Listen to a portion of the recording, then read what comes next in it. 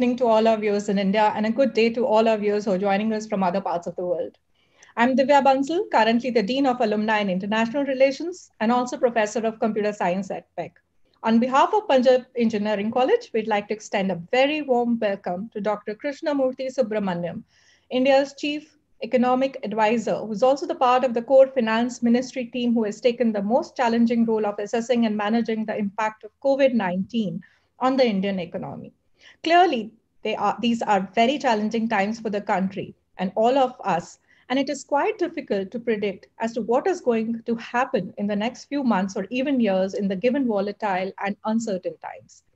Ladies and gentlemen, we are very privileged to have Dr. Krishnamurthy Subramanian, also fondly known as Subu, to our fourth edition of PEC Centenary Lecture Series. As we march towards completing our journey of 100 glorious years, and as a part of our celebrations, we have Centenary Lecture Series, which feature venerable and eminent global personality from all walks of life. I would also like to acknowledge the presence of Dr. Dheeraj Sanghi, Director PEC. Our new admits to our BTech program have also joined the virtual floor today and are with us. Before we move on, I would also like to introduce you to our faculty, Dr. Vasundhara Singh, Professor in Department of Applied Sciences at PEC, who's been teaching here and has an experience of 30 years of teaching and research and leads drug discovery and green chemistry research at PEC.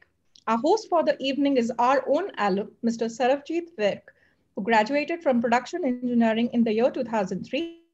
He's the managing director of Finvasa, Finvasia Group, a diversified company focusing financial services, NBFC real estate, with global offices in India and overseas. He's also been the member board of governors of PEC and immediate past chairman, Confederation of Indian Industry, Chandigarh Council. Once again, we are delighted to have Dr. Subramanian with us, who will be interacting with us on post-COVID economy. I would now request Dr. Vasundhara to formally welcome and introduce our distinguished speaker to all our viewers. I'm now going to hand over the proceedings to my colleague, Dr. Singh. Over to you. Uh, thank you, uh, Dr. Divya. A very good evening to one and all. It is my humble privilege to introduce on behalf of the fraternity of Punjab Engineering College, the eminent speaker for today, Dr. K.V. Subramanian. Quote, if your only ambition is to become rich, it shows an extreme poverty of ambition, unquote. These are the great words and message of Dr. Subramanian, which he conveyed to the students on being conferred with the award of Corporate Control and Merger Scores by ISB. A very profound, intense, and far reaching thought, sir, for the youth in these challenging times. Among Dr. Subramanian's many prominent personality attributes, he is a man so vigilant and yet so humble in his demeanor that we are very honored to have him with us today. He has nurtured young minds and spread the passion for education in his students and has taught them to value knowledge far beyond scoring good grades. Dr. Krishnamurthy Subramanian, currently the Chief Economic Advisor to the Government of India, is a leading expert on economic policy, banking, and corporate governance. He has authored the path-breaking economic survey that commends ethical wealth creation for a prosperous India and is highly acclaimed. Budding out as a young electrical engineering student in IIT Kanpur in 1994, he further proceeded to pursue MBA and bagged the top ranked position in IIM Calcutta in 1999. In 2005, he did his PhD, Financial Economics, at Booth School of Business at the University of Chicago under the advice of Professor Luigi Zingales and Professor Raghuram Rajan. Dr. Subramanian's PhD dissertation earned him the prestigious Ewing Marion Hoffman, Kauffman Foundation Dissertation Fellowship, which recognizes the top 15 PhD dissertations across all disciplines every year. Sir, your academic achievements are indeed inspirational. To address the current situation due to the pandemic, do tune in to, our session live where Dr. Krishnamurthy Subramanian today will be sharing his insights on what the economic impact in India will be like post COVID 19 and how the Indian economy has dealt with it so far.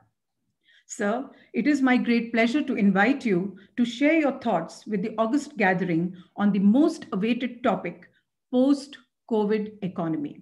Over to you, sir, Dr. Subramanian. Very good evening uh, to one and all. Professor Dheeraj Sanghi, the Director of Punjab Engineering College, um, Dean Divya, faculty, um, and alumni and students of the um, esteemed Punjab Engineering College. Let me first start out by congratulating all the stakeholders of Punjab Engineering College for um, hitting a century. Um, I, I, think that's quite creditable. Um, even in cricket, a century is valued, and so I'm pretty sure that uh, you know PEC would uh, would really value it incidentally uh, talking on a day when India won the the one day cricket match against Australia, I think you know makes the century possibly even sweeter. So uh, once again, heartiest congratulations to everyone that is involved uh, with with PEC. Um, I when I got the invite from Professor Sanghi, he also sent me a very nice uh, set of inputs on the very, very rich history of, of Punjab Engineering College. And uh, I think um, uh, it, it's, it's something to be really proud of. And so I, my, my double congratulations to all those who are involved in building, building this history. Uh, and I think among them, students, alumni, and faculty are by far the most important because today's students become tomorrow's alumni. And um, one of the things that I've always believed is that in any educational institution, the alumni and the faculty are the most um, interested stakeholders because they are the ones that really uh, benefit from the brand of the institution itself and they, therefore their incentives are perfectly aligned with that of the institution so um, i'm very glad to see a very very illustrious alumni actually part of this session as well. Um, so let me start out by first um, saying um, that I, I, would like to, to, to, be more optimistic than the uh, introduction that Professor Divya Bansal gave about the about the economy. Uh, and this is not just because I am an incorrigible optimist. Um, I am indeed a, a, an incorrigible optimist, but when I share my optimism, you know, beyond my own private thoughts, uh, those are based on, on, on credible data and empirical evidence. It's just not, um, you know, emotion. Um, I think emotion is fine for one's private thoughts, but uh, uh, my public utterances actually on this are based on data. So let me first, um, you know, set aside any, um, you know, any, uh, sort of walls crashing kind of thought that might have come uh, by hearing the introduction about the economy from Professor Bansal. Um, I, I, think India, you know, uh, has indeed uh, illustrated, demonstrated the resilience that the Indian economy has with the Q2 numbers. Um, you know, after a decline of uh, almost 23.9% in Q1, um, which indeed was because of the lockdown, and I'll actually have something to say about it, um, you know, before I, I, I uh, talk about the, the, the path forward. But just the fact that from 23.9% to you know go to 7.5% now is testimony to the resilience that that uh, you know India has. Um, and I must tell you, having actually lived um, in the Western world, you know, um, in the United States for close to a decade. Uh, this is one aspect that oftentimes a lot of you know uh, um, onlookers from the from from abroad miss about the Indian psyche and the Indian economy itself. That the resilience that that we have, uh, and I think that is demonstrated in the Q2 numbers. Um, uh, let me first uh, share few thoughts about um, what has been our principle uh, to the you know uh, to, to the to the uh, you know principle underlying the response to the COVID crisis, um, which of course um, is a health crisis. And one of the first things that all of us must acknowledge is that the um, you know the, the effects that we are seeing in the economy are all stemming from the pandemic um, and uh, you know i think one simple factoid that must uh, be remembered in this context is that uh, if you look at the number of countries where the gdp per capita is going to shrink or the number of countries where there is going to be a recession this year uh, that uh, you know that number is is is the highest in the last 150 years. And this is a statistic that was you know shared by the world economic outlook. Um, so uh, you know i think the the economic impact has to be seen in that light when we are living through an event that is once in a one and a half centuries i think you know uh, that definitely has to uh, you know impact the, the way in which we, we view this. Um, it is a, a pandemic um, of a magnitude that was seen uh, the last you know uh, more than 100 years back when the Spanish flu pandemic uh, impacted the world around the First World War, um, 19, 1918 and 1919. So in the last 100 years, um, you know, the world has not seen a pandemic like this. So uh, you know, poss- certainly our father's generation and you know um, grandfather's generation, you know, uh, could not be part of this uh, unfortunately dubious part, dubious history in some sense. Um, but we are we are seeing that. So uh, I think that perspective is f- the first thing that all of us have to remember. Um, that the economic impact actually is because of the pandemic. I think that is the point. Point number one.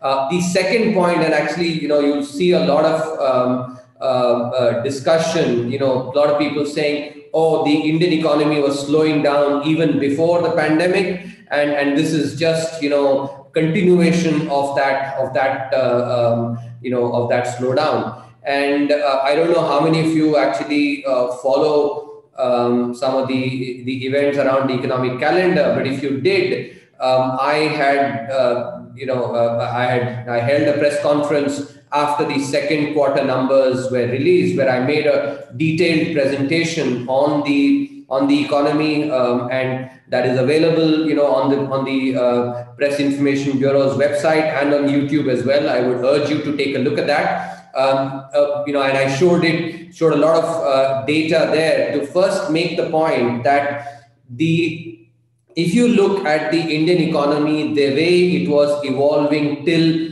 February of this year, and you know, uh, I, I, there's a chart there where uh, the indicators from August of last year, August 2019 till March is shown, um, and and which clearly illustrates that the Indian economy was you know gathering very good momentum till February. And this is not, by the way, opinion. This is facts. Um, using, for instance, data like the purchasing managers index, the uh, export uh, numbers, the industrial production index of industrial production, the core sector, eight core sector output, freight, railway freight, um, the um, you know e-way bills, all these indicators. Each one of them had been actually trending up uh, up until February.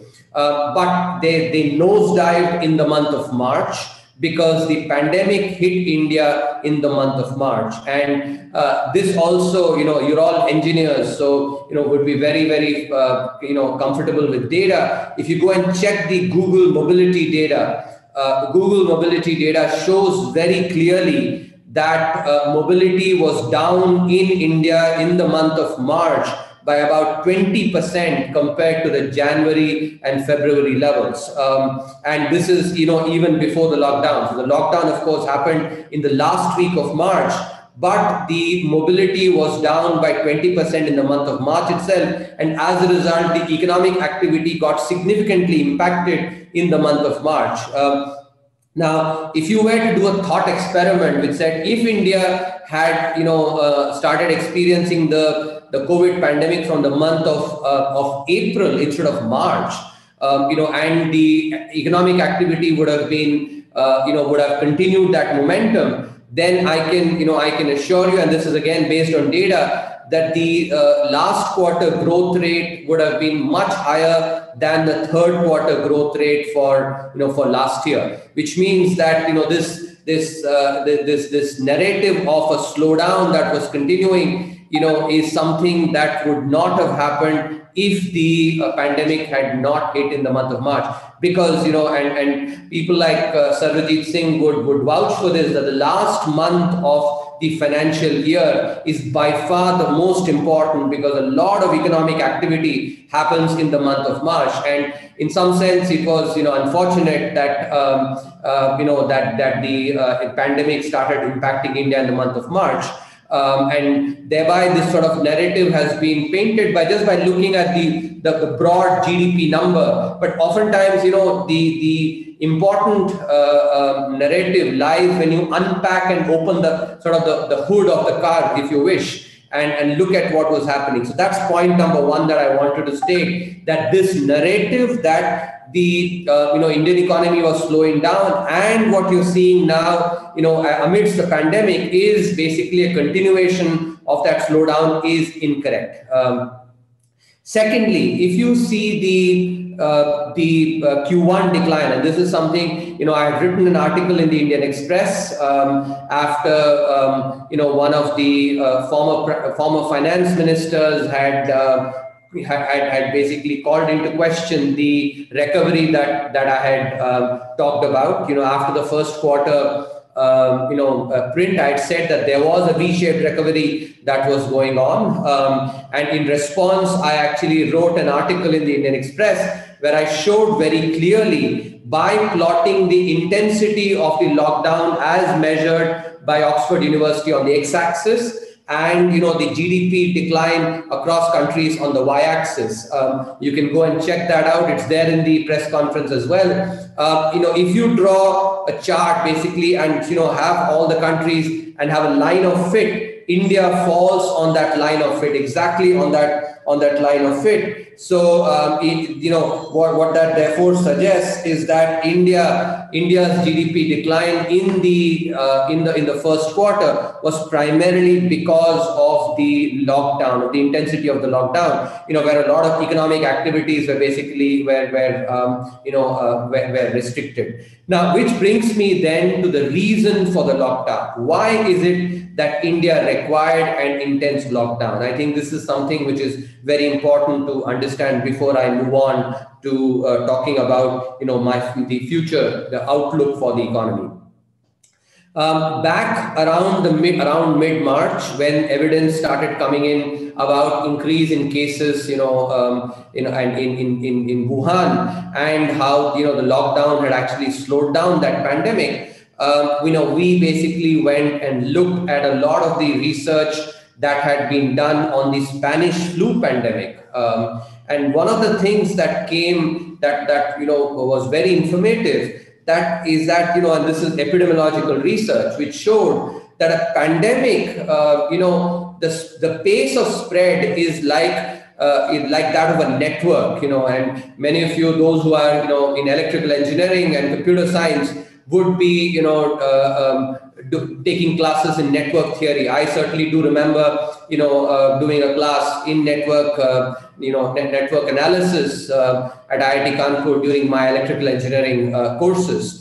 Um, now, epidemiological, uh, you know, uh, phenomena also are, you know, are like are network phenomena, um, and therefore the pace of spread of a pandemic is much higher in a larger network. Um, only because you know basically in a, in a, larger network you know the likelihood of one person infecting far you know uh, uh, the number of people that that is much higher. And so the pace of spread is you know much higher in a larger population. That's point number one the second point is that the pace of spread is especially higher when you know in densely populated areas. And you know in in India and in South Asia in general we live in possibly in not possibly actually the most densely populated uh, you know, uh, areas anywhere in the world. Um, now, this is because social distancing becomes difficult and closer, you know, to, to people, the likelihood of them getting, you know, getting it, you know, uh, passing on the infection from one from each to,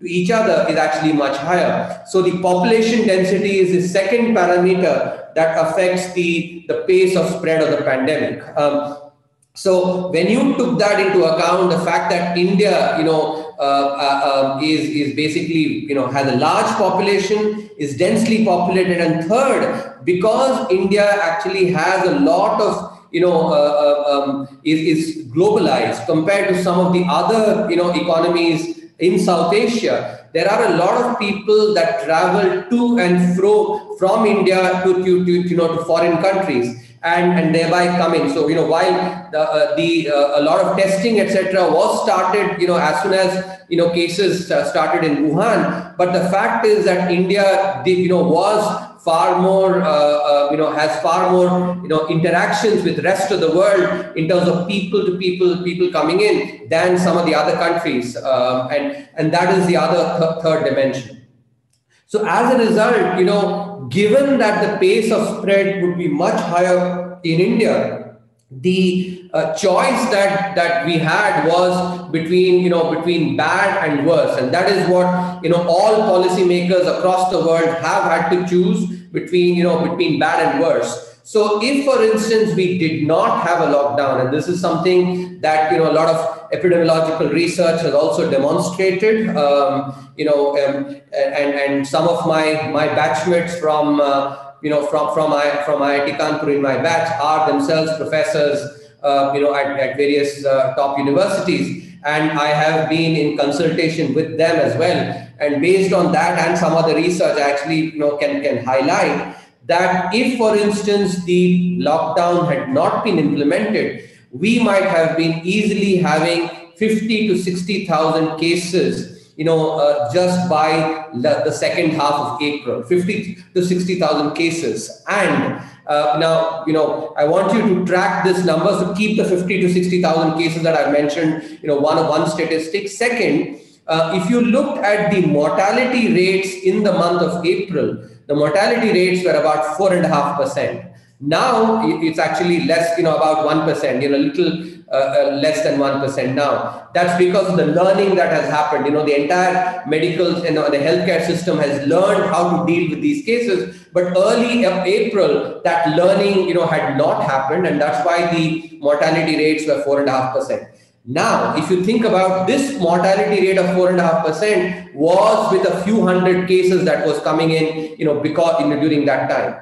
If you had a you know a, a situation where 50 to 60,000 cases, that 100 times as many cases were coming in in the month of April, you know, with the kind of health infrastructure that we had, the there is no way that we would have actually been able to keep that mortality rate at four and a half percent. It would have been far higher, and that is one of the key things that epidemiological research, you know, pointed out that faced with the pandemic, it was important to flatten the curve. What does that mean? That you know, if you be, did not have a lockdown, you would have a curve like this with a very sharp peak, and that peak being you know being hit very quickly. In contrast, if you flatten the curve, you know, that peak becomes actually much much uh, you know shorter. It's like you're spreading that distribution and all of you again you know engineers would understand the distribution. So when you have a very you know sharp distribution the mass is basically just around the middle. In contrast if you flatten the distribution then the peak is is, is much lower. Now this is important to remember because you know a lot of people ask the question what was the impact of the lockdown look, um, you know, when you till you don't have a vaccine, the number of you know uh, people who will get infected remains the same with or without the lockdown. What you get to do is to just flatten that curve. You know, in other words, the area under that curve, you know, again, I'm, I'm, I'm talking, you know, uh, math here, that area under the curve actually remains the same, you know, between with or without the lockdown. It's just that with the lockdown, you actually spread that curve out. And so, you know, you actually get a much smaller, much shorter peak. And thereby you provide the health infrastructure, the ability to ramp up to be able to deal with the cases. That is what the lockdown does. The lockdown and testing together actually, testing does slow and testing and quarantining helps in you know reducing the spread. But overall, the cases will happen. So the area under the curve remains the same with or without the lockdown. And what the uh, the, the the lockdown actually did was to reduce that that that uh, you know that peak. So if you did not have the lockdown you know one can easily project that the mortality rates would have been far higher than four and a half percent might have been close to six seven percent maybe even 10 percent you know given the kind of um, then you do the numbers 50 to 60000 cases you know just in the second half of april and uh, you know maybe 7 8 percent let's say mortality we would have been looking at you know at 4 to 5000 deaths a day grieving at 4 to 5000 deaths a day you know in the month of april itself and then you know far more. So the, the main principle that actually drove you know the in the indian government's response to, to the pandemic was a very humane one, which is that while GDP, you know, uh, growth will recover, and it is indeed recovering. I think the evidence, you know, is, is clearly demonstrative of that you know human lives once they are lost you cannot bring them back. You know gdp growth you can bring that back but human lives once they are lost you cannot bring them back. And that is the central humane principle that actually drove the the response. Um, you know in and in you know uh, uh, for instance uh, uh, uh the, the, the it, it, was mentioned that one of the principles that actually I have, I generally tell the students is that if your only ambition in life is to become rich, it shows an extreme poverty of ambition. You know, if you think about applying the same thing here, you know, if the only objective faced with the pandemic was just, you know, thinking about GDP, then I think that actually would have shown an, a, a poverty of ambition as well. Um, so, so, so uh, it is important, therefore, to recognize that you know um, that that uh, this this this humane principle drove the response to the pandemic. Now, from an economic perspective as well, and this is something which is important to remember. Um, undoubtedly you know a gdp decline you know is something that creates difficulties especially for people people at the bottom of the pyramid you know i don't think anybody will deny that i certainly will not but I think this is the counterfactual that we have to keep in mind. If, for instance, you had, you know, far more deaths, 500, you know, uh, uh, um, let's say 5,000 to 6,000 deaths a day just in the month of April, and then you accumulate it over, you know, over over the six, six, six odd months, right? Um, then think about it. You know, people at the bottom of the pyramid typically have households of five people with one bread earner if that one bread earner you know has to suffer the unfortunate consequence of death then four others become destitute. Now you know that household of five people you know in a, uh, in, a in an economy where it is shrinking of course does face difficulty you know undeniably but it is it is you know it's bad. Uh, but you know if they actually have their bread bread breadwinner you know having to suffer the unfortunate consequence of death it's far far worse. And and that is something that is the reality of india that also has had to be kept in mind. So as i said at the outset faced with a pandemic like that policymakers have to choose between you know bad and worse and the other important point is that you know you, you policymaker knows the counterfactual, which is that you know if we had not done the lockdown, what would have prevailed? That the common people, you know, because that does not manifest in reality, just remains something as a counterfactual, something that could have been but never was. Uh, and and that is what we have to keep in mind. And that you know, I I am actually convinced that the uh, you know that the choice that was made indeed has saved a lot of lives and that's reflected in the data you know uh, if you look at per capita deaths and that is what you have to do uh, you know again as engineers i'm sure you actually you know are, are careful with data if you just care, compare the, the actual number of deaths that is affected by population, the amount of population. If you do it on a per capita basis, then you're doing an apples to apples comparison. When you do the per capita comparison, India's per capita death actually is about is one tenth to one twelfth, you know, of many of the other other countries.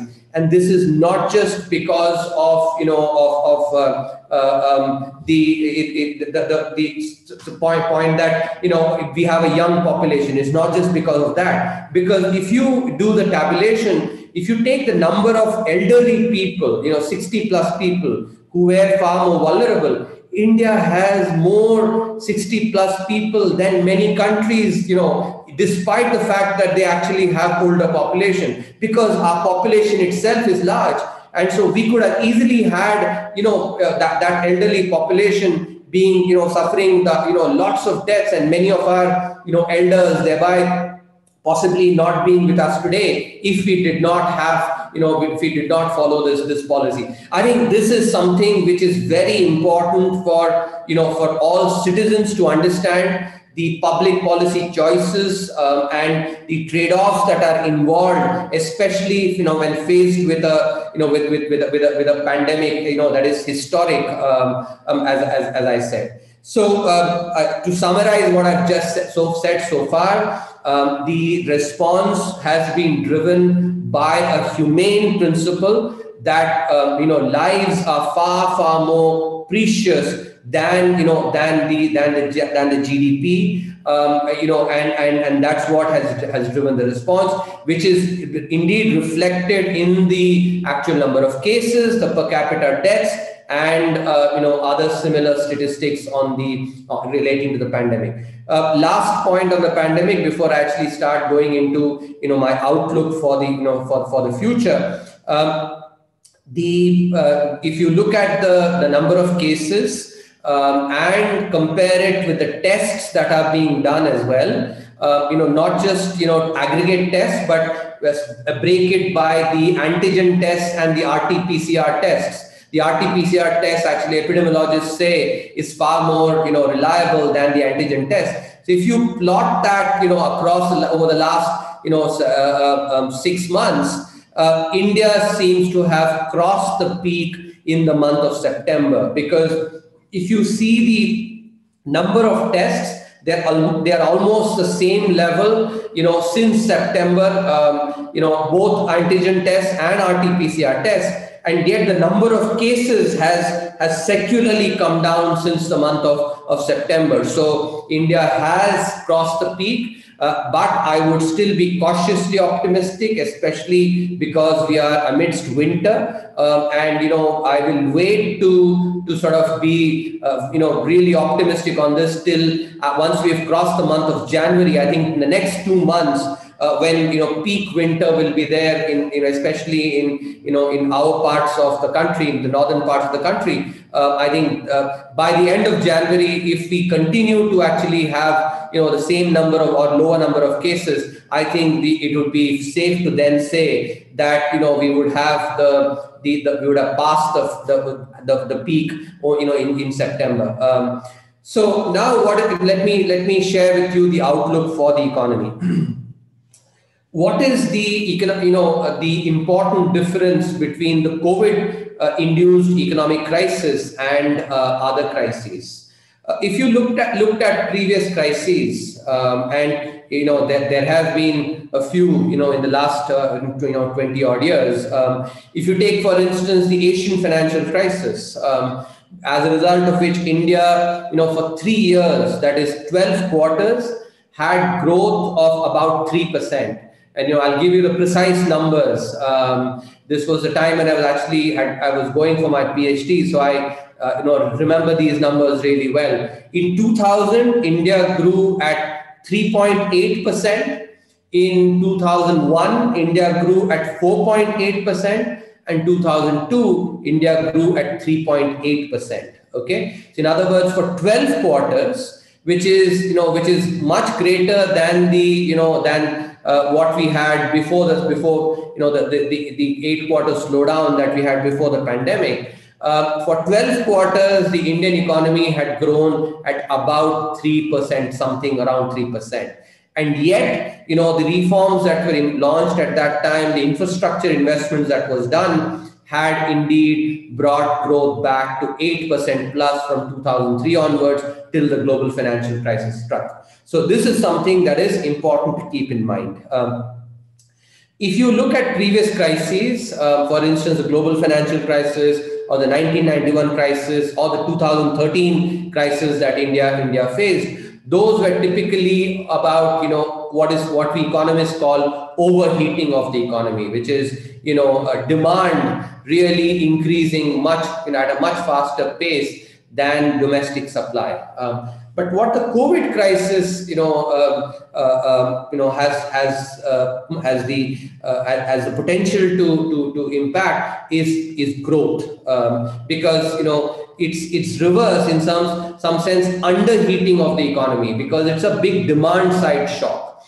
uh, and the reason it's a demand side shock is you know is twofold. Um, firstly, because of the need for social distancing uh, sectors like travel, tourism, you know, hotels, etc., um, have been significantly impacted. Um, you know, I'm sure all of you yourselves would have would have seen. Of course, during the unlock phase, now many of us have started going to restaurants. Uh, of course, you know, with, with masks, etc. But still, you know, the the demand is not or at the same levels as the pre-COVID. So there is, a, you know, a, a, negative shock to demand for sectors that are particularly affected by social distancing. Uh, some of these service sectors. Second, and this is the other other key aspect, which is when faced with a crisis, you know, all of us as individuals become far more risk averse. And we typically do not spend as much you know um, because we may think that oh you know we may need the money uh, if somebody if somebody in our family becomes sick. So you know if some of us were let's say planning to you know to to, to buy a house or things like that you know before the unlock phase you know now of course i think during the unlock phase you know real estate is picking up even consumer durables has picked up. But before that what people would do is to say okay let me keep this money with me not spend it um, because you know I, I, we may need it. Um, and what that does is when every person basically cut back cuts back on his or her spending on some of these non-essential items that then affect, affects you know buying across the economy. And that is what we, we economists basically say that the demand for non-essential items you know has basically gone down. And that is the second part of the of the crisis you know the, the so your your service sectors especially travel tourism you know uh, uh restaurants uh, hotels etc you know suffering a demand demand side shock. And at the same time also some sectors that are not necessarily as you know uh, essential items also getting impacted you know and this was this happened during the lockdown phase. Unlock phase the second part has really come back very well. But still that was something that you know impacted the the the, the demand in the economy. So so that is the basic uh, you know uh, aspect of the covid crisis. And therefore you know what we did uh, you know and here's using this framework you can now understand why the indian economy you know in, indian government has basically come up with with such a slew of reforms because you know what we wanted to do is we recognize that it's possible that the you know the the, the covid crisis might have an impact on potential growth you know in the medium to long term going forward and we wanted to ensure that that does not happen. And that is why a slew of reforms, the labor law reforms, the agriculture reforms, the the I know export um, uh, uh, um, production link incentive scheme, the change in the MSME definitions to you know make MSMEs grow grow much bigger and thereby make them more productive. The uh, you know emphasis on more more private sector um, you know the private sector policy uh, all these you know uh, when you when you put together uh, they are all intended to actually enhance productivity in the economy and thereby ensure that there is no you know uh, long term damage to the productive capacity and the productivity in the economy. Thereby there is no impact to long term growth. Um, and that is why reforms have really been you know implemented uh, and that is uh, essentially to try and uh, you know convert the crisis into an opportunity. Um, I, I, think that is indeed uh, happening. Uh, there are two aspects of these reforms that I want to actually particularly touch upon, um, and uh, you know, and tell you how that will impact the economy going forward. firstly, if you look at the uh, you know the uh, the two sectors which are really uh, being focused on through these reforms, it is what we economists call the primary sector and the secondary sector. Primary sector is, you know, essentially your agriculture um, and, and raw material inputs. Um, and secondary sector is manufacturing. Now, these two sectors are very important because, you know, they create a large number of jobs in the economy.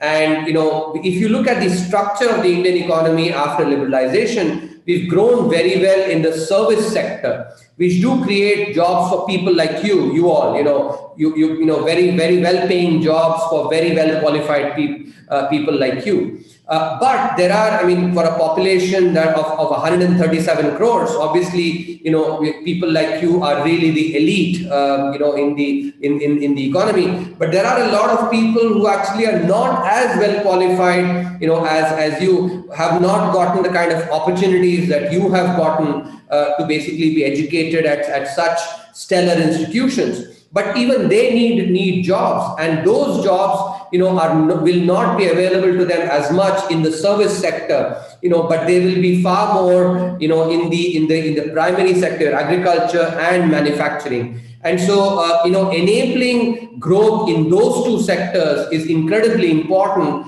to create jobs um, and thereby put put money in the hands of people uh, you know and because nothing better than a job in really increasing you know the the well-being of a family uh, and thereby of the economy as well because people once they have formal sector jobs they, they do spend more. They'll think about buying a house they'll think about buying maybe a two-wheeler and then graduate to a three-wheel you know three four-wheeler. Um, and, and they may go on vacations more. So, you know, uh, people who are in the organized sector are likely to spend, you know, in such activities, thereby increasing the demand in the economy and creating sustained growth, um, you know, for the economy. Therefore, the emphasis on sectors that, you know, uh, create the maximum number of jobs was very important. And that is where these reforms, you know, the labor reforms, uh, you know, the agriculture reforms, the uh, MSME definitional changes, all these, the other ones that I've talked about, all of them are very important in, you know, in, in creating jobs and, and thereby also creating, you know, uh, sustained demand in the, in the economy.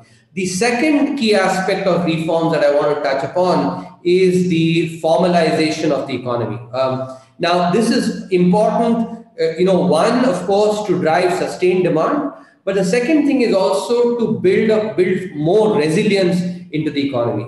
Why? Because if you look at firms that are in the formal sector versus firms that are in the, in the informal sector, or even jobs that are in the formal sector versus those that are in the informal sector, firms and employees in the formal sector are far more resilient than those in the informal sector.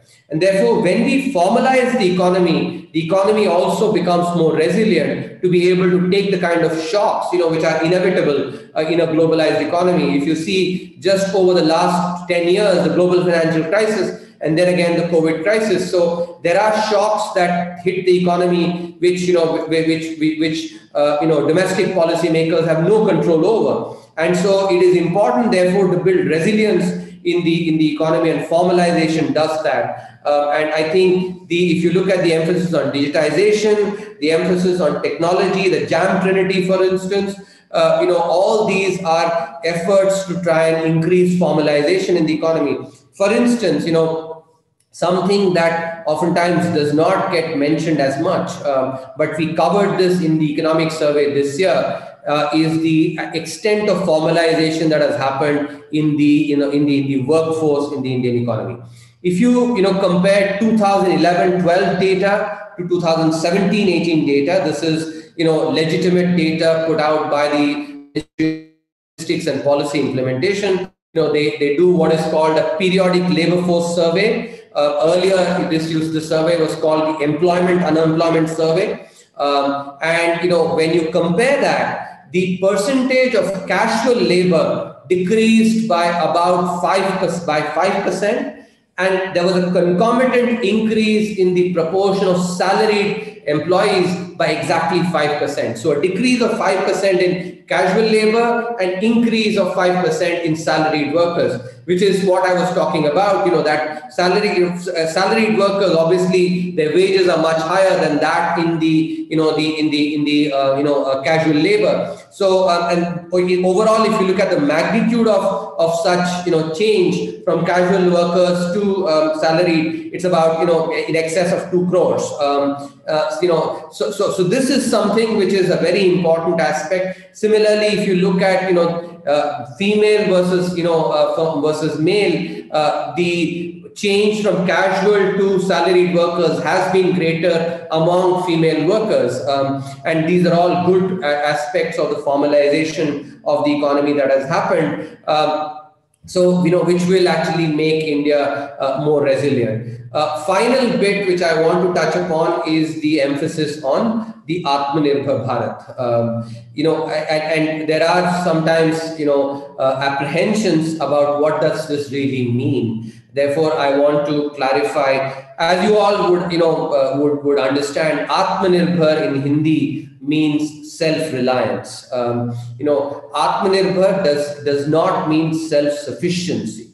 Uh, there is a big difference between self-reliance and self-sufficiency. Self-sufficiency is, you know, it, it's like um, a, a, classic textbook example of someone like called Robinson Crusoe, you know, caught in an island, uh, catching fish and, and using that fish to trade for coconuts. Basically, someone else, you know, picks coconuts and it's basically a self-sufficient economy which does not need anyone from the outside, from outside that island for any interactions with, you know, world outside that island. That is what a self-sufficient economy is.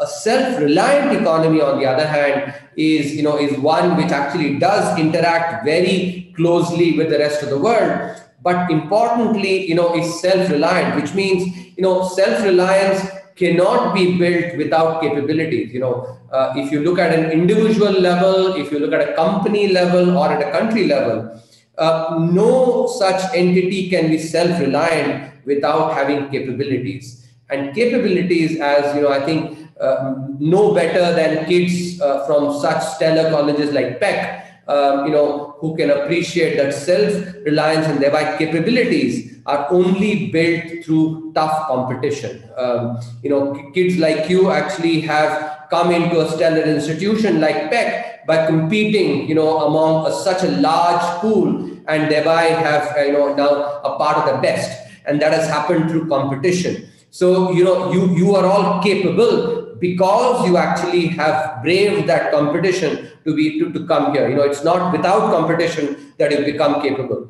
Uh, and so i think the same thing applies equally well for for you know for the economy as well that competent firms too that self-reliance and therefore capabilities can only be built in an atmosphere of competition but one nuance i must point out you know if for instance we ask a 5 year old to to basically go and write the you know the the, the JEE mains examination together with an 18 year old you know I think that is unfair um, because the five year old obviously does not have the capability to go and compete with an 18 year old. Uh, same thing applies for companies as well. That a five year old company which which is still in its infancy cannot be you know expected to go and compete with a 20 year old company. And that is the part that you know that is uh, so some amount of you know of, of nurturing of the of the five year old you know for a finite period of time. You know the five year old cannot pretend to be a five year old you know even after another 13 years when it actually has become an 18 or 18 year old i think that is absolutely uh, you know has to be made clear. Uh, but the five year old has to be nurtured so that it can become an 18 year old and thereby compete with other 18 year olds that is what fair competition is and therefore that is what is the, the, the mechanism for building the capability that is required for self-reliance. So that is indeed what, you know, Atmanirbhar, uh, uh, you know, the idea of Atmanirbhar is about uh, with one important um, aspect, which is really enabling and, and benefiting from the competitive advantage that India has, which is the large population and therefore a large consumer base. Uh, if you look at the companies that you know um, that have uh, produced goods and services in India. Many of you will go and work with such companies, and therefore, you know, I want you to, to keep this, uh, you know, thought that I'm I'm going to talk about when you go and work with these companies. Uh, if you look at the nature of products and services that have been, uh, you know, have been uh, implemented by by these companies, they've been primarily focused on the on, on the relatively rich sections of the population. So if you were to actually draw a consumer pyramid, you know, uh, based on the income of people, so the richest at let's say at the top, and then people at the bottom of the pyramid, you know, being being being uh, lower down, um, you, you, know, you would you would um, appreciate that most of the products and services have been built for the top 25 30% you know I, I think even 25 30% is a stretch maybe mostly 15 20% of the income pyramid and yet, there is a large section of the population which wants to avail the same products and services. I think the best example of that is the kind of shampoo, you know, shampoo sachets. Um, you know, if you if you are somebody who uses Dove shampoo, for instance, you can certainly buy it in a bottle, uh, you know, in the city, but you can also buy a small sachet in any nook and corner in the country. Um, and the poor, you know, do buy it actually. Um, so, so that is indicative of the poor also wanting the same kind of product and service that, you know, that people like us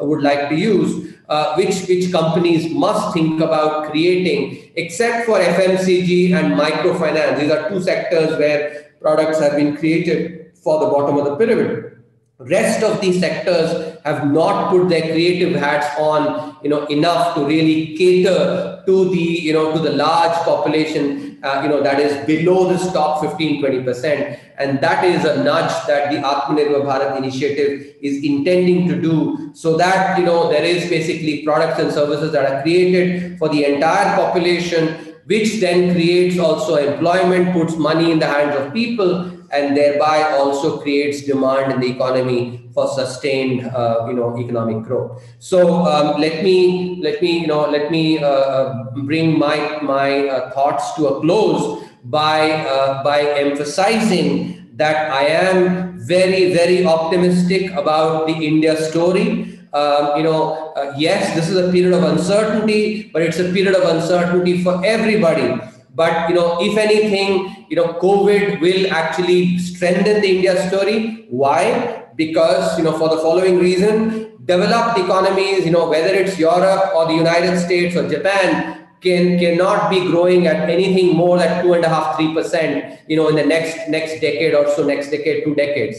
Um, you know, among the large economies, India is the only one that can grow at six percent plus on a consistent basis. China has its own set of problems. If you, you know, uh, a recent survey that was done across the world, you know, it is, uh, uh, um, you know, people across the world uh, have, have a lot of misgivings about, about China. Uh, and, you know, so there is a, that there are issues there, which leaves among the large economies, India as the bright spot that can grow at 6% plus over a consistent period of time. And therefore, the India story, if anything, you know, gets strengthened. And I hope um, that uh, based on the, you know, on the careful data and based on the arguments that I've laid out, uh, you know, to you, you would be convinced as much about the India story as I am indeed, uh, you know, so let me uh, thank you very much for your patient listening, and I would be very happy to, to take questions. Thank you. Uh, and I must say that, uh, you know, we can certainly keep listening to you for another hour based on the content and the knowledge you have. And indeed, uh, you know, whatever you have been sharing with us, it's it's surely a motivation factor for a lot of people like us, especially, you know. So indeed, for for myself, studied and worked in New York, came back. We've just done the whole cycle of having that India story and trying to put the best foot forward. So I, I must compliment, and as a matter of fact, trust me, everybody is of the same mindset that surely India has a lot more uh, story to share probably in few years or decades that what we are going through right now And I must tell you that I have a list of questions, and there are so many people who are looking forward to speak to you. So I think, uh, Dheeraj, you would like yeah. to add, and then I can. Right. I'll, I'll just say one thing. You know, today is the first day for our 2020 batch. And it is so great that on the very first day of their life in PEC, I'm seeing several hundred of them have joined us on, on, on, uh, our channel. And lots of questions from first year students. And remember, this is the first day in college. Uh, I know we, you know, you are very, very busy, but if you can give us uh, an extra few minutes so that some of these kids, their, their questions can be answered, that would be great. Sure. Absolutely. Thank you, Dheerajji. So again, I'll try to make the questions crisp, justice to time. And then wherever you feel you would like to just make it short or detailed, you know, purely your call. Uh, surely, you know, I, I, I somehow had a very strong uh, thought that you feel that the data has a most important role to play when you're talking about either the developed or developing economy. So where do you really see in terms of the data which is coming for India? I know you referred about the data which was uh, you know turning point for the industry or you know we were trying to create more and more history but do you really feel that the current state of affairs is reflecting the true data in terms of the economy or uh, you know how how it is purely more refined in, in US or global countries vis-a-vis India. So what's your take on the data which is actually on the floor these days or predominantly before and in the current COVID situation?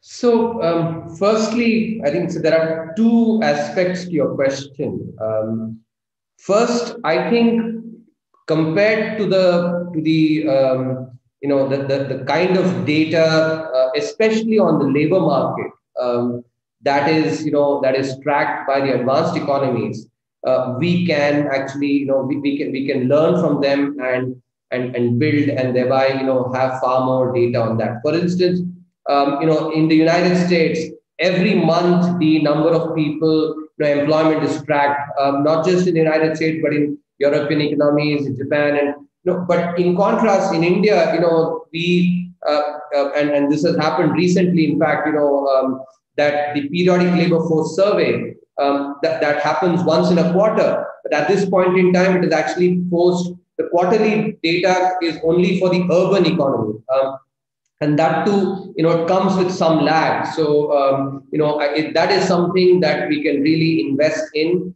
uh, because uh, if there are, there is you know, if, if, if, a policy priority that India must be seized upon, it is job creation. So if you were to wake me up in the night, you know, just and shake me up and say, "Hey, CEA, tell me the three things that you, you know that that worries you at night," I would say job creation, job creation, job creation. So, uh, you know, and therefore uh, tracking data for that, I think is, is extremely important.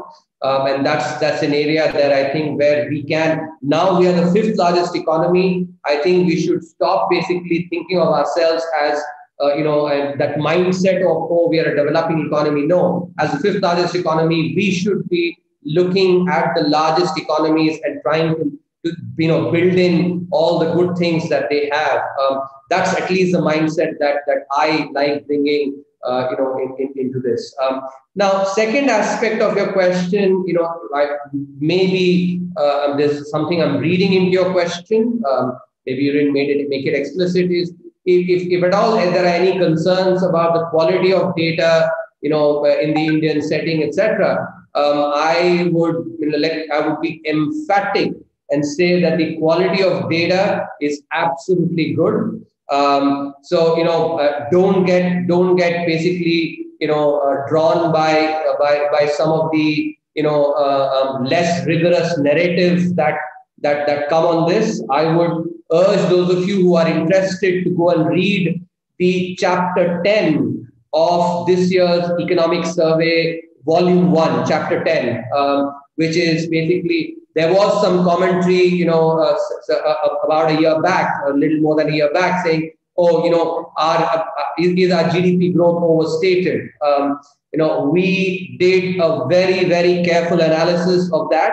Um, I, you know, and some some commentators, for instance, have, have have mentioned by far the most technical chapter ever written in the economic survey, uh, and and showed very very clearly that there is absolutely no overestimation of the GDP growth, um, and that you know any insinuation that uh, that our, our numbers are basically you know are, are biased um, is incorrect. Um, you know the reason I actually you know I felt the need to write this is that you know um, करीब करीब करीब करीब you know पाँच पाँच से छह दशक कितने लोगों ने अपनी जवानी खपाई है ये ये सिस्टम को स्टेटिस्टिकल सिस्टम को बनाने के लिए और अच्छी चीज़ बनाने में बहुत बहुत मेहनत लगता है and just one motivated you know uh, set of narrative can really undo a lot of the good work and you know as as someone who actually you know uh, uh, empathizes with the amount of good work that has been done by people you know over the last 5 to 6 decades i think it is extremely critical to actually put back the credibility, which is indeed what we've done, you know, through that chapter, making it very, very clear, you know, um, that there is absolutely no problem with the, you know, no bias. Um, so if you think about it in terms of a continuum, right, there is there is error or inaccurate, there is inaccuracy, uh, there can there is bias, and then there is, you know, what you know, some some people will allude fudging, you know. Now um, there, there, there can be inaccuracy only because when the economy is really evolving very fast, you know, the, the, the data may not be capturing some of that. It's like, you know, if you try to basically measure temperature now, you know, with a digital thermometer, in, you know, instead of a digital thermometer, you let's say use a very old, you know, or, or you know, I, am not saying that you know our methodology is very old, but let's say if you were to use something which is a few years, you know, uh, not not current, then there may be some some error that will come in. But that is not saying that oh, you know, like like let's say I might have done when I was when I was a kid. If I didn't want to go to school, you know, thermometer ko doodh mein dal diya, hoga mere ko bukhar hai. You know, that is basically something that is biased. There's a difference between the two, um, and I, I think that's not what is happening. So I wanted to make that make that very very clear. Sure, sure, absolutely. Uh, so before I really take it forward, I want to make sure how much more time we can steal from you so that uh, you know we can just draft the questions accordingly. Let, let, let, let's let's keep going. Actually, when you know, I think surely I'll, I'll let you know sort of last last couple of questions or so when when when I think uh, at the right time. Thank you very much, uh, sir. So some of the questions are obviously relating to the economy where we are right now, and what so one, one one suggestion, you know, if questions are repeating what I've already said, please skip over them and you know let's take questions that are actually you know will that will provide me the opportunity to provide newer perspectives and not just repeat what I've already said.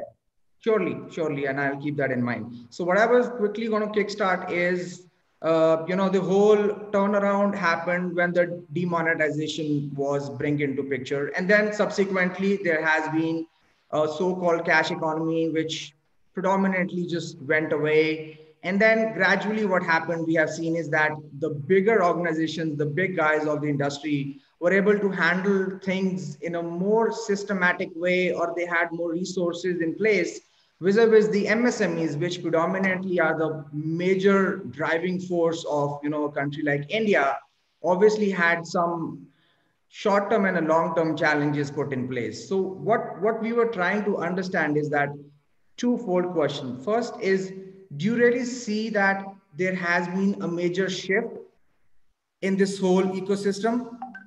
How do you see the MSME, especially in the COVID situation, and predominantly when we are talking about recession right now, when we are talking about the numbers which have affected globally our foreign relationships, everything put together?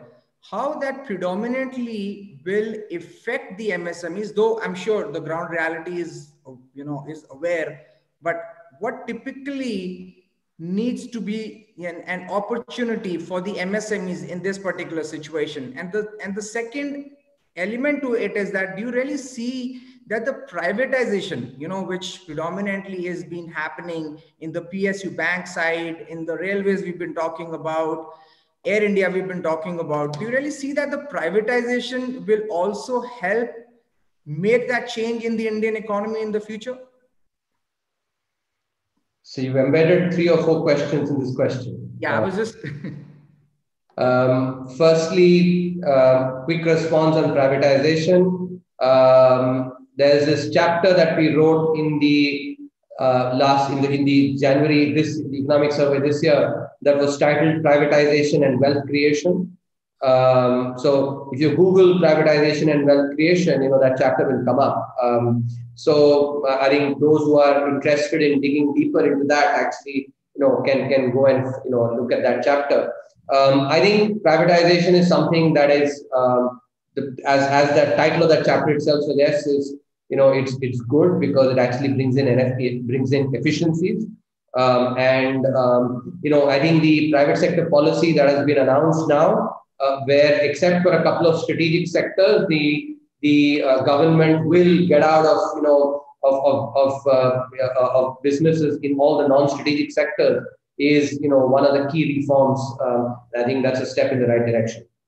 Um, now, you know, your, the first part of your question relating to MSMEs um, and, and demonetization. So, you know, I, I, did touch upon this earlier by saying that formalization of the economy is something that is important, um, you know, and, and because formalization brings in resilience. Um, you know, and one of the things that in, in economics that um, we all have to understand is that there is always a trade-off. There is a cost and a benefit. So if some benefits have to be have to come, you know, some costs have to be taken. And typically, you know, and this is the way I think about about you know choices uh, faced with trade-offs that if there is a policy that creates some little bit of short-term pain but creates long-term gain, you know, that's one, one kind of policy.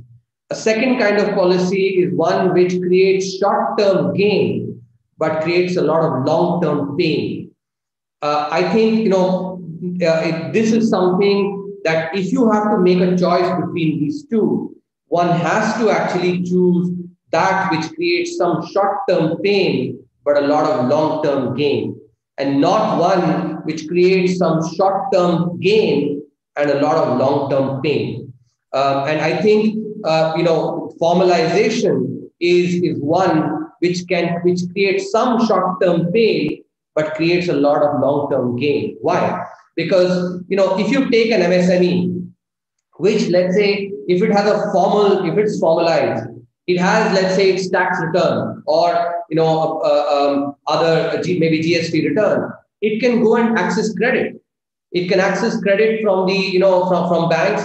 If it is just driving, if it is doing purely cash business, then you know it doesn't have the formal records to go and take credit. And most MSMEs typically face cash constraints or financing constraints. And so becoming formalized is something that enables them. So uh, therefore, I do really think that you know formalization, which started with the demonetization and you know then was accelerated through GST and a lot of the reforms that are being done, is indeed in the long-term interest of MSMEs themselves.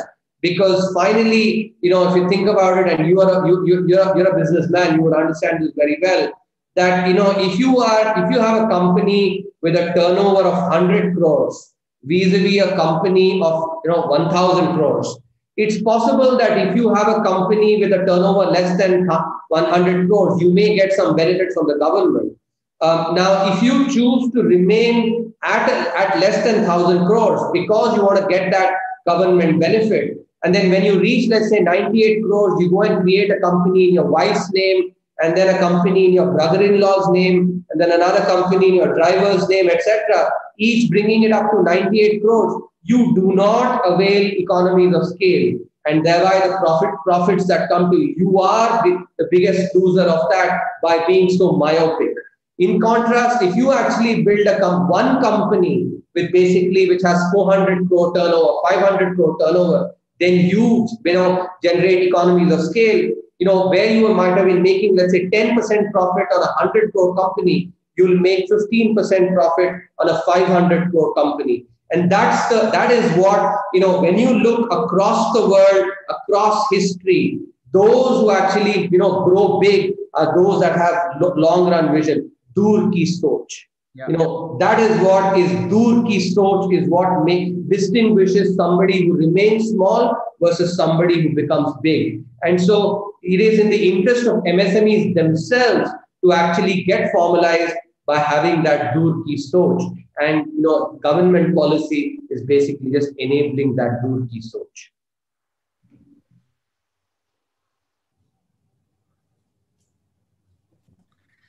I, I completely agree with you. And I think that is where I would, the next point is when you're talking about recession, it naturally will affect the budget, which is going to be in a few months right now. So obviously you being part of the whole think tank, where do you potentially see the upcoming budget? I mean, obviously it, it needs to look at from the holistic perspective of the Indian economy in terms of the growth and obviously our internal challenges in terms of our own revenues as a government.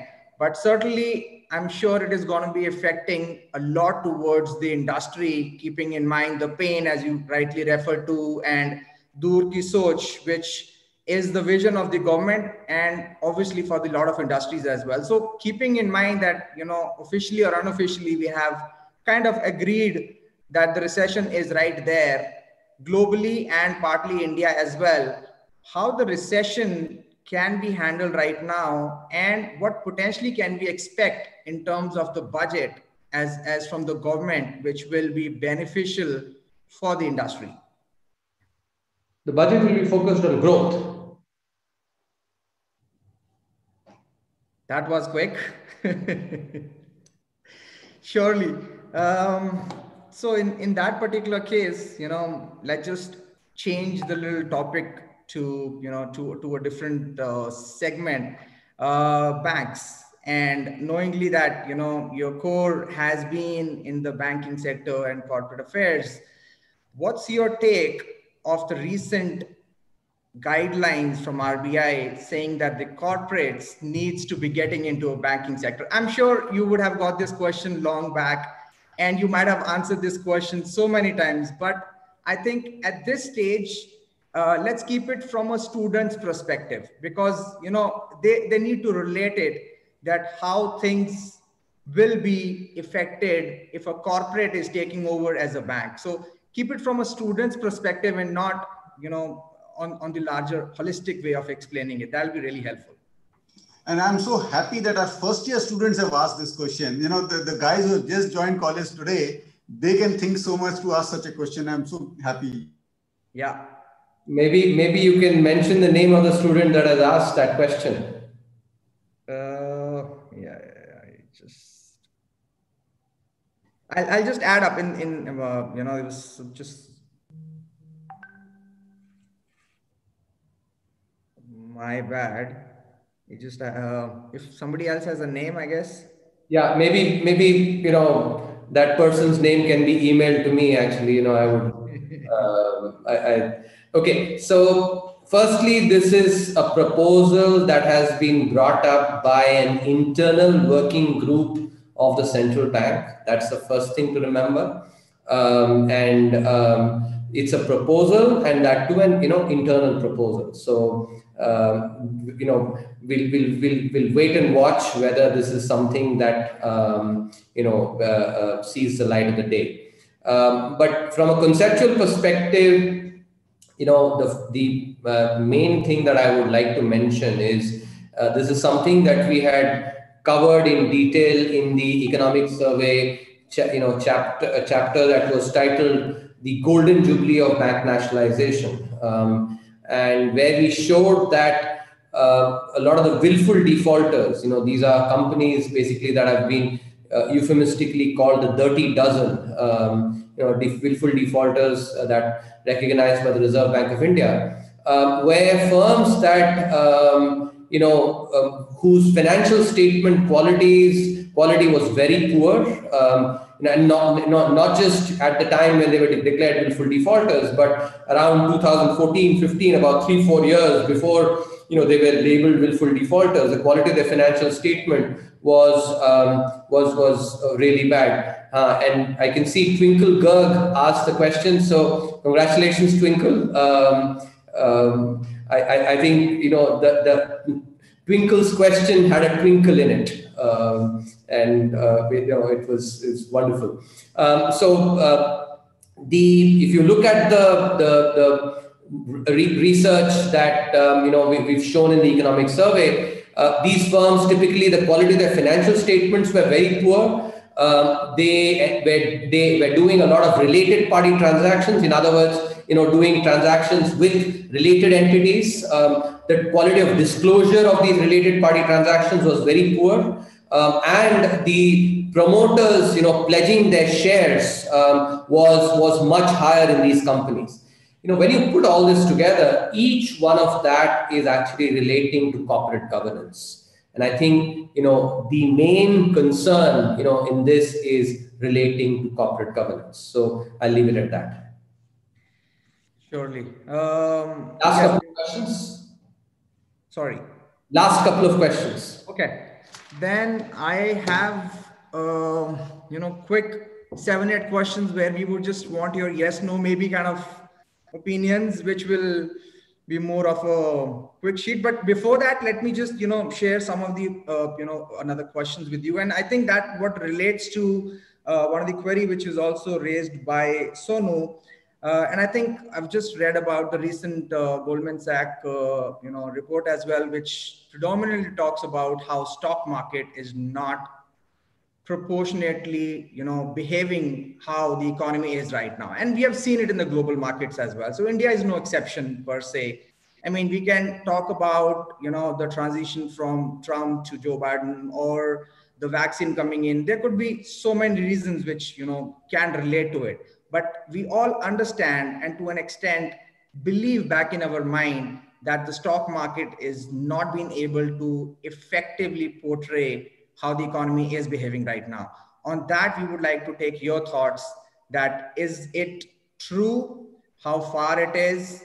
And do you really see i mean i'm not saying you need to say there is going to be a correction in the market but do you really see that the pe ratio or whatever numbers we relate to from stock markets to economy how is that behaving these days? Firstly, a caveat, you know, uh, don't go and buy or sell stocks based on what I actually am saying here.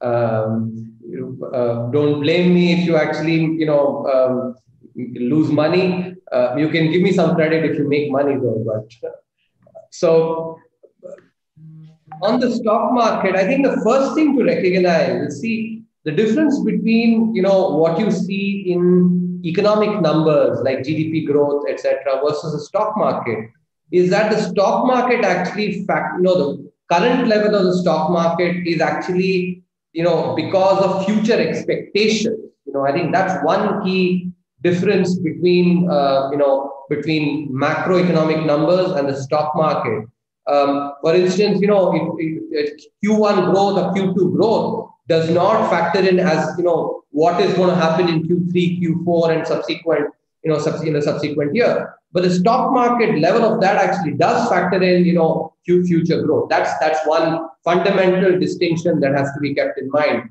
Um, you know, we finance professors basically say that the um, you know uh, uh, stock market value is basically the discounted value of future cash flows. Um, and that's why, you know, discounts in the, you know, factors in the future. So uh, the reason I bring that conceptual difference up is that, uh, it, especially with India, as I said, you know, being one among one, one of the, the, the you know, uh, uh singular bright spots, for, you know, once, you know, we get out of COVID, 6% plus growth, you know, in a large economy, that does build in a lot of growth potential with which other countries may not have, especially after the COVID crisis, number one.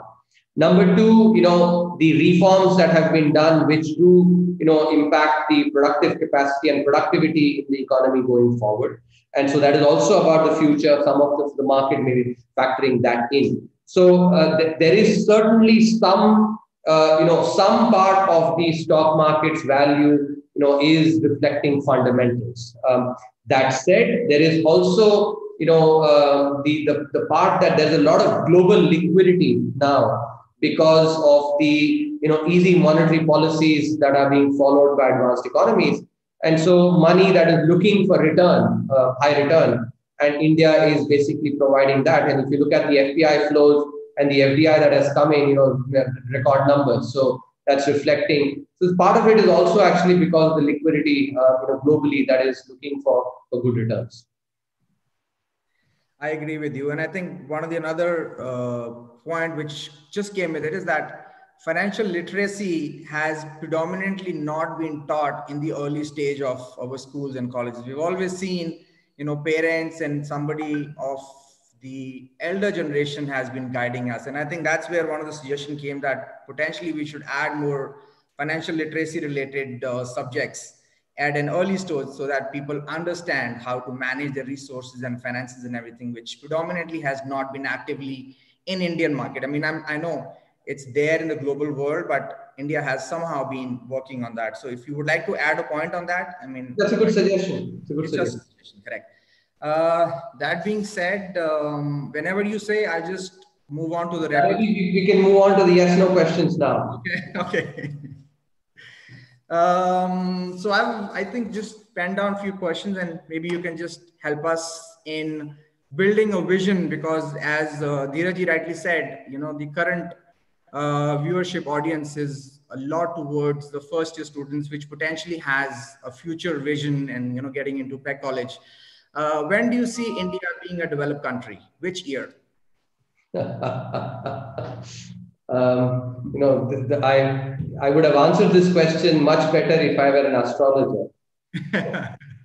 um, well, okay, let, let me, uh, that, that was of course a little, you know, sort of just uh, uh, in, in a lighter vein. Um, so I, I think there's a good likelihood that India um, you know, could be a $10 trillion economy in the 2030s. So in, in another decade from, you know, the, thereabouts, um, so, sometime in the 2030s, it's possible that India can be a $10 trillion economy. Um, and, you know, at $10 trillion, um, then, you know, our per capita GDP, therefore, can be about, you know, three and a half times what it is today. Um, which will then actually, you know, uh, uh, would keep us, you know, would, for, for such a large economy, um, you know, I think per capita GDP would then be about, uh, in, I'm just sort of roughly calculating between six thousand to seven thousand dollars, you know, uh, approximately. Um, I think uh, uh, my, my, my, numbers could be wrong here, but I'm just sort of, I'm based on memory. I'm just calculating this, you know, using the per capita GDP as I remember. Um, so I think in which case actually it should be, uh, I think that would be a good, uh, you know, uh, per capita GDP to have. Um, so, so I would say therefore, you know, the 2030s. Surely, great. Uh, interest rate. Do you personally think that we should have higher or lower interest rates, short term and long term? I don't comment on monetary policy. Yes. Okay, fair enough. Uh, do you think that India really should have one, three, or five slabs of G, uh, GST, or it should just, you know, three. three. Fair enough. Um, do you think India should have more taxes to save or spend? Should Indian government have more, you know, puts more taxes to save or spend? Not during the current times. So in the current times, they should spend or save uh, you know people yeah. current current current times actually if you know uh, economic crises are times when government should be spending. Fiscal spending is extremely important now. Great. Um, so you've been a professor and you've been on the other side of a bureaucrat. Which one are you liking and why? A professor or a bureaucrat? I, I honestly enjoy both. Um, you know uh, and I, am I'm, I'm not being, you know, I'm, I'm not just being diplomatic. I actually honestly enjoy both. Um, see, there's a certain pleasure in being a professor. Um, you know, uh, in, in fact, if I have to live my life again, I would again choose to be an academic um, because, um, you know, nothing, nothing gives me more pleasure than, um, you know, two things. One, being in a classroom among young people um, you know, and that's one of the things that I I, I used to observe. Um, you know, we are, we professors age every year, but the incoming class remains the same age. Yeah. and so um, you know you get to you get to sort of uh, see you know youngsters and one of the best things of you know interacting with youngsters is you know there's so much passion in them so much you know kuch kar guzarne ki jo wo, wo jo you know junoon hoti hai na that is something which um, you know i really love among youngsters and um, and i think well, i also think that that aspect of of being of, of you know of a youngster is something that all of us should keep alive, you know, irrespective of irrespective of you know whatever age we are in. कुछ you know कर गुजरने की वो जुनून actually वो होनी चाहिए हमें. uh, you know, and and that is something which actually I draw upon a lot, you know, from youngsters. Secondly, also, you know, so you know, as a professor, you teach and you do research, and research is something that I just love. Um, thinking deeply about issues, um, you know, and um, it it, that's something that I that that I thoroughly thoroughly enjoyed. So I, I you know um, really um, you know have enjoyed the being a being a professor. But at the same time, you know, if there is one role you know in the government which is best suited for a professor, it is the it is that of the chief economic advisor because here again you actually you know you think deeply about issues. Um, the economic survey is um, one where you know I get to do a lot of research, um, think deeply about a lot of issues, um, and you know um, and, and think about issues that are very wide ranging. You know, so wide ranging that I would not have definitely you know uh, thought about these kind of issues if I were just a professor. You know, uh, when you are thinking about actually the Indian economy, uh, you know uh, microeconomic to macroeconomic, financial sector to, to healthcare, to education, you know, to, to the digital economy, all these you actually get to. And, you know, I must say my learning curve on this job has been so phenomenal. I mean, I've learned so much uh, in this that, you know, and, and learning is something that really gladdens me. And so, you know, I have thoroughly enjoyed this job as well. Um, and I, uh, you know, and, and that's an honest answer. Sure, and we can surely see that passion in the way you have really explained it. Uh, the last two ones, which book are you reading these days? Which book am I reading? I'm actually reading a lot of research papers now. Um, I'm, I'm not, you know, uh, reading a book currently uh, because, you know. Uh, which book would you suggest for our students to surely read? Okay, uh, I, that, that, that's that's a question that I can certainly answer. Um, there's this one book that I that that you know really influenced me a lot. Um, so, okay, I, will give you. I'll say two books. You know, um, one is uh, this book called "Talent is Overrated." Um, it's a it's it, the, the the essential message is in the title itself. Um, you know, and, and I'll and I'll say this, I, I don't know how, you know, uh, students today think about, but, you know, back, back when I used to be in IIT, um, somehow, you know, people used to, basically there was this, in IIT Kanpur in particular, there was this word called bucket, you know, who basically was, um, th- that, that word was used for someone who says, who, you know, with, with the least amount of effort, basically goes and cracks examinations. Um, and as a result, you know, you would find a lot of people, you know, hiding in corners of the library, studying, you know, to basically actually working hard, but but not, uh, you know, wanting to be seen to be working hard. So, um, you know, so, so, so the reason I bring that up is having, you know, been at a place like the University of Chicago, which has uh, produced more Nobel laureates than than you know uh, all other countries put together. You know, leave the United States, but all other countries put together has not produced as many Nobel laureates as just the University of Chicago. And having seen so many of these Nobel laureates, you know, at close quarters and having been taught by them, um, what I have actually discovered, um, and, and not just Nobel laureates, but you know, a lot of top policy makers whom I've had the privilege of of interacting with, and some of the people who, you know, uh, you know, history will look back. Um, for instance, the the current, you know, prime minister. Um, you know, Honorable Prime Minister.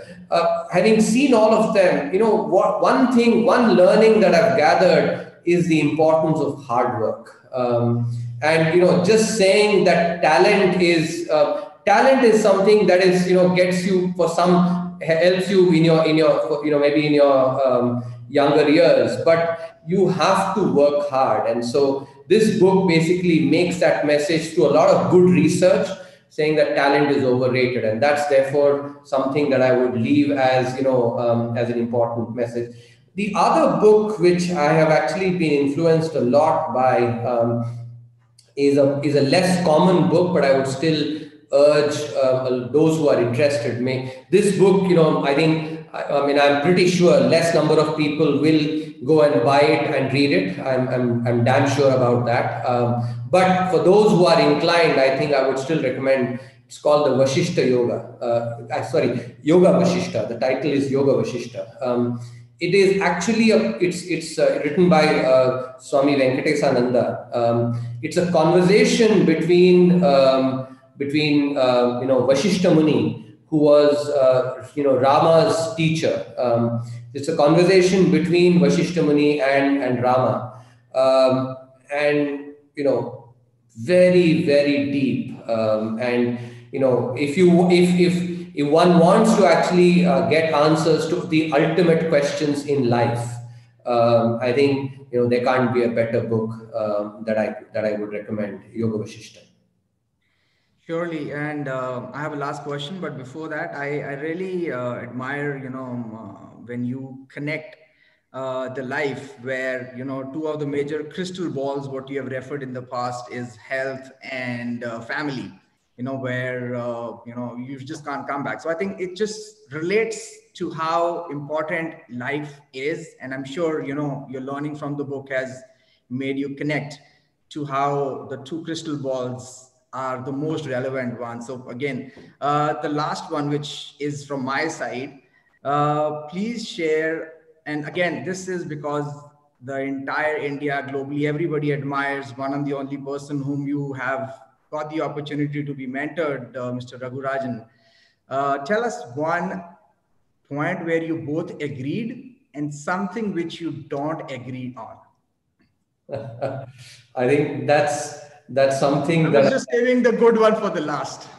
I, I, I think you know given that this is something that will be is being publicly uh, released i think that would be best set for a for a private drink but maybe you can tell us one learning you have learned from him or something which you have you know as a vision for india some see you know first of all i, I he he's been you know a very very supportive mentor uh, of mine and have enormous respect for him, you know, both as a scholar and as an individual, you know, uh, and and um, I, have learned a lot by observing him, you know, uh, in in especially for instance, you know, the um, someone for someone who's had so much success, you know, professionally, um, the way he remains grounded is something that you know I have um, really you know admired and I have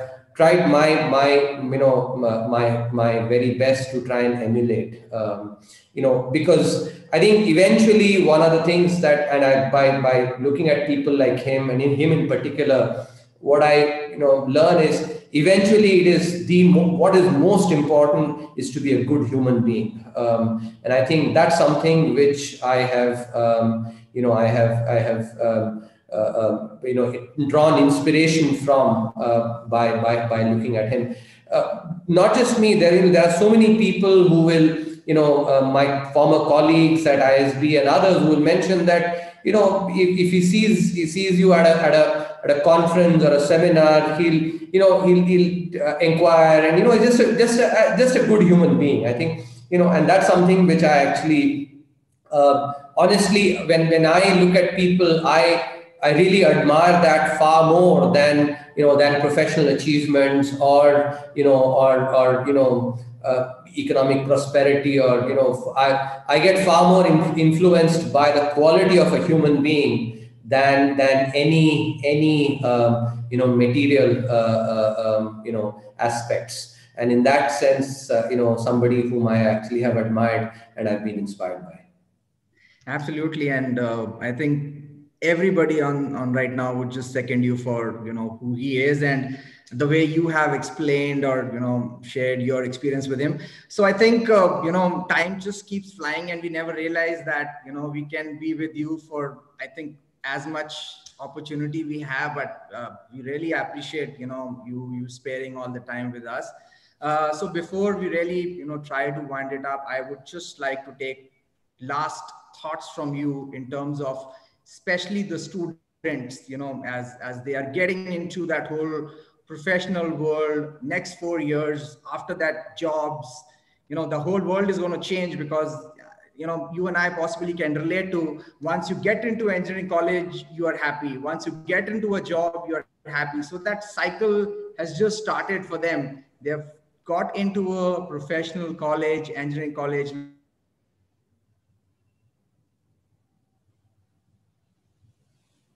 Like PEC, what next last words from you. Uh, okay i think two two aspects. One i would say um, be lifelong learners. I think that's the most important. Um, you know if you learn then um, then i think you know everything else um, which is money power privilege all that will will come. Um, don't put the cart before the horse actually. I think keep learning and keep growing as an individual i think you know all the other aspects will come. The second uh, you know uh, piece of advice that i would li- like to leave is with, with students you know from as stellar institutions as the as as punjab engineering college is to recognize how all of us are so privileged um, you know in a population of 137 crore people to be studying at institutions like this you know, uh, we are indeed very, very privileged. And with privilege comes responsibility. I think, you know, that's that's something which I would, um, you know, really mention. And there can't be a better way to to to capture this than uh, you know a shloka from the Bhagavad Gita.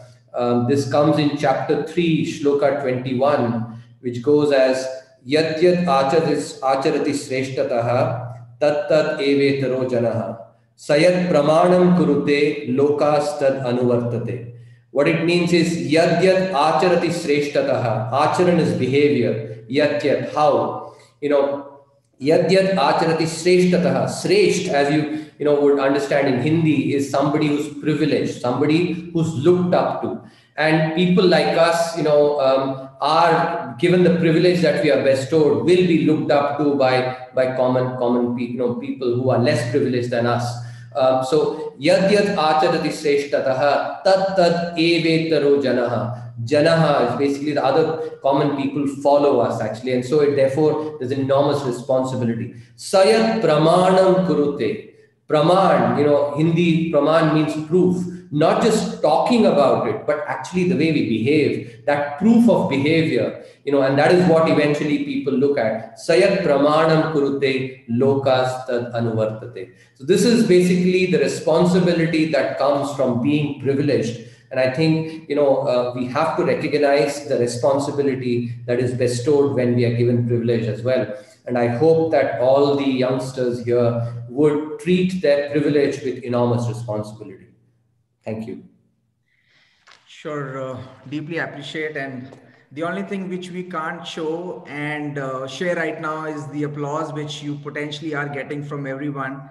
It's definitely a standing applause from my side, you know, speaking and having an opportunity to spend time with you. And, you know, I think uh, the most important element uh, for someone like us on the other side is that we feel happy and contented when we see that the people who have responsibilities as what you're referring to are also visionaries because unless you have a vision in place unless you know what is potentially right now and obviously you know in the time it becomes difficult not only just to implement things but obviously to push it internally and even for a country like india which has a you know major demographics everything just going in our favor needs to have a channel and a vision in place. And I think it's really nice when people like you are at the right spot and at least making a noise and letting everybody, the academians, all the stakeholders, including government, that, hey, this is what needs to happen.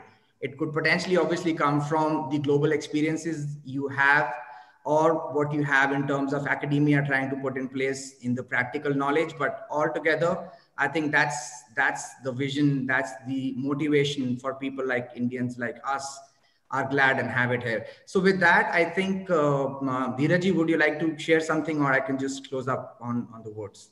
I just want to thank uh, you, uh, you know, for a wonderful talk and taking up so many questions. I'm really sorry we took so much of extra time from you uh, and I really, really enjoyed uh, listening to you. Thank you very much. Absolutely, pleasure mine. So with that, once again, um, you know, I would like to uh, give our sincere gratitude um, to Dr. Q, um, KVS, and I'll take a privilege to call you Subbu because I think that's where one of the discussion initially started with.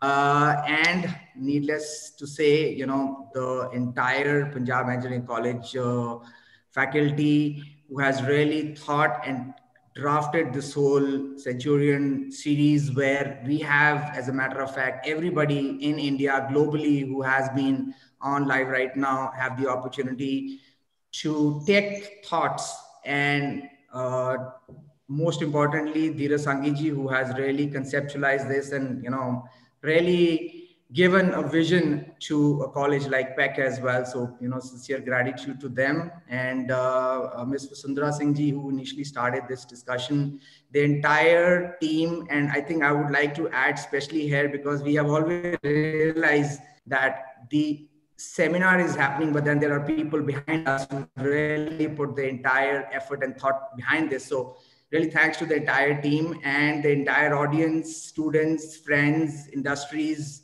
everyone who has been here today, uh, spending time listening to him, sharing their thoughts, their questions. I think the all I can say is that both sides, the questions and the answers were really nice. We all thoroughly enjoyed it. And we surely look forward to have a similar interaction with you personally whenever you know this whole thing settle down we would look forward to invite you again to Punjab Engineering College. It's a great auditorium. We have absolutely, you know, marvelous students who look forward to meet you in personally. With all that, I would like to once again give my personal sincere gratitude from the behalf of PEC to uh, Dr. Subramanian for sparing a time, for enlightening us, for giving the wisdom and the thoughts, and to everybody else who has spared your time. Thank you very much. We thoroughly enjoyed it and we look forward for the sessions more and more to come. Thank you.